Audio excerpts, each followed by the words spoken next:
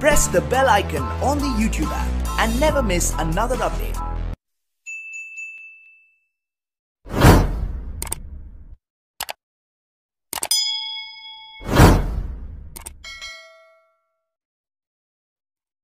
अंगावर परशिवलिंग असताना स्थावरलिंगास नमस्कार करू नये आपल्यापाशी लिंग असताना इतर लिंगांना शिवून दर्शन घेऊन स्पर्श करणाऱ्या कुत्र्यांना काय म्हणू आपल्या अंगावरील लिंग कटड्याच्या दगडास लागता. कोणते श्रेष्ठ आणि कोणते कनिष्ठ म्हणू मी? ते कसे म्हणजे?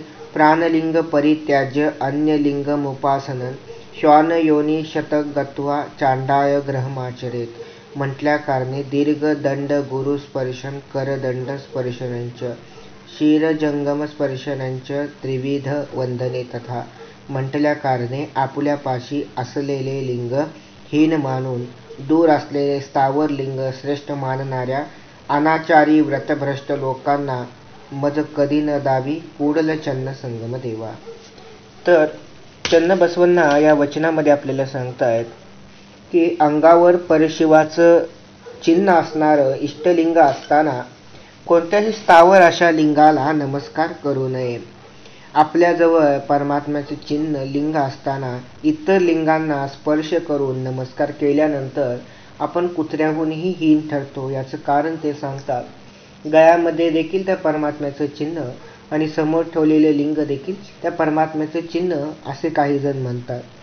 आणि त्यानंतर समोरच्या लिंगाला स्पर्श करून नमस्कार करत असताना गयातील लिंग त्या दगडी लिंगाचा स्पर्श होता. कोणतं लिंग श्रेष्ठ? हे आपल्याला ठरवता येणार नाही. म्हणून ते पुढे वचनामध्ये सांगतायत प्राणलिंग परित्याज्य अन्य लिंग मुपासन श्वान योनी शतम गत्वा चांडाळ ग्रहमाचरे.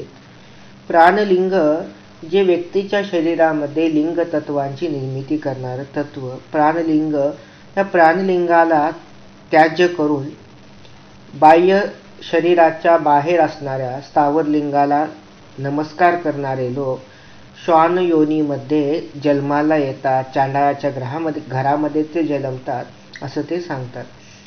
म्हणते या कारणे दीर्घदंड गुरु स्पर्शन करदंड करलिंग स्पर्शनंच क्षीरजंगम स्पर्शनंच त्रिविध वंदने तथा. तर ते सांगतात की स्थावर लिंगाला स्पर्श करून डोके टेकून नमस्कार करू नका मग हे डोकं कोणासमोर टेकायला पाहिजे असं ते सांगतात. तर हातामध्ये दंड धारण केलेल्या गुरूंच्या पुढं आपण स्पर्श करून नमस्कार केला पाहिजे. हातामधील तळहातावरील इष्टलिंगाला स्पर्श करून नमस्कार केला पाहिजे. जंगमान पुढे डोकं नतमस्तक करून नमस्कार केला पाहिजे. गुरुलिंग जंगम या तिघांव्यतिरिक्त अन्य कोणापुढेही शरणानी मस्तक टेकवू नये असं ते सांगतात. हे तीन ज्या गोष्टी आहेत तिघ जे आहेत ते वंदना करण्यासाठी नमस्कार करण्यासाठी योग्य आहेत असं ते सांगतात. म्हटल्या कारणे आपल्या पाशी असलेले लिंग हीन मानून दूर असलेले स्थावर लिंग श्रेष्ठ मानणाऱ्या अनाचारी व्रतभ्रष्ट लोकांना मज कधी न दावी कुडलचन्न संगम देवा. तर चन्न बसवांना सांगताय की आपल्याजवळ जे इष्टलिंग आहे याला हीन ठरवून बाहेर जे जमिनीवर स्थापन केलेलं लिंग आहे याला श्रेष्ठ मानून त्याला नमस्कार करणाऱ्या हीन लोकांना मला कधीही संपर्कात येऊ देऊ नकोस असे ते या ठिकाणी प्रार्थना करतायत. म्हणजे एकंदरीत जमिनीवर स्थापन केलेल्या लिंगाविषयी शरण सांगतात की जमिनीवर स्थापन केलेलं लिंग हे जरी ईश्वराचं प्रतीक मानलं गेलं असलं तरी शरणाने त्याला नमस्कार करू नये कारण शरणांच्या गळ्यामध्येच त्या लिंगाची प्रतिकृती आहे असं ते सांगतात. दगडाचे घर करून दगडाचा देव करून तो दगड या दगडावर ठेवल्यास देव कोठे गेला हो? लिंग प्रतिष्ठापना करणाऱ्यास नायक नरक न चुके गुहेश्वरा.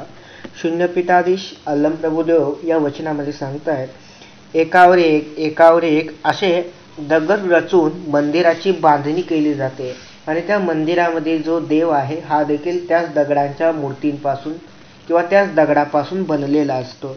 मग एकावर एक दगड रचून प्रतिष्ठापना केल्यानंतर त्या दगडामधील देव गेला कोठे असं ते विचारतात.